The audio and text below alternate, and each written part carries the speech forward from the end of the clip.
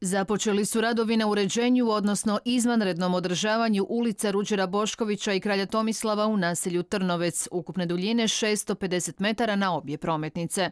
Vrijednost ugovorenih radova na prometnicama koje su od velike važnosti zamještane s obzirom da obje vode kroz Trnovec do Župne crkve Majke Bože Snježne iznosi milijun 477 tisuća kuna.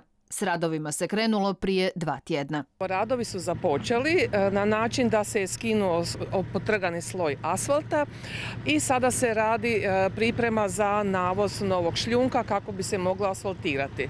E, no međutim, obzirom da neka domaćinstva nemaju priključke vode i kanalizacije, mi smo dogovorili i sa Varkamom, paralelno s time se rade i odvojak za svako domaćinstvo koje nema mogućnost, znači priključka, da to bude izvedeno prije samog asfaltiranja, da ne bi odmah prometnicu morali rezati nakon što asfaltiramo. Znači svako domaćinstvo koje do sada nije imalo priključak vode i kanalizacije imat će mogućnost se sada priključiti bez dodatnih radova na samoj prometnici. Sa svake strane prometnice biti će uređena i pješačka staza kako bi se dodatno podigla prometna sigurnost s obzirom da tim dijelom naselja svakodnevno prolazi veliki broj djece na putu do škole, a napravit će se i pješački prijelaz.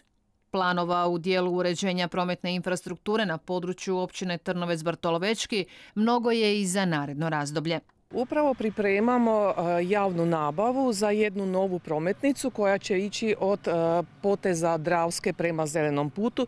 To je potpuno nova ulica koja do sad nije niti bilo. E, za ulicu Ivana Cankara radi se idejni projekt za sanaciju, a za Ivana Mažuranića sada je faza izrada geodetske podloge.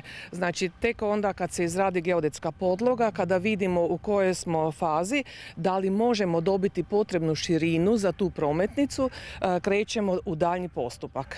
Za uređenje prometnica sredstva su u cijelosti osigurana u općinskom proračunu, a radovi bi trebali biti završeni do lipnja, odnosno prema najavama izvođača, možda i ranije.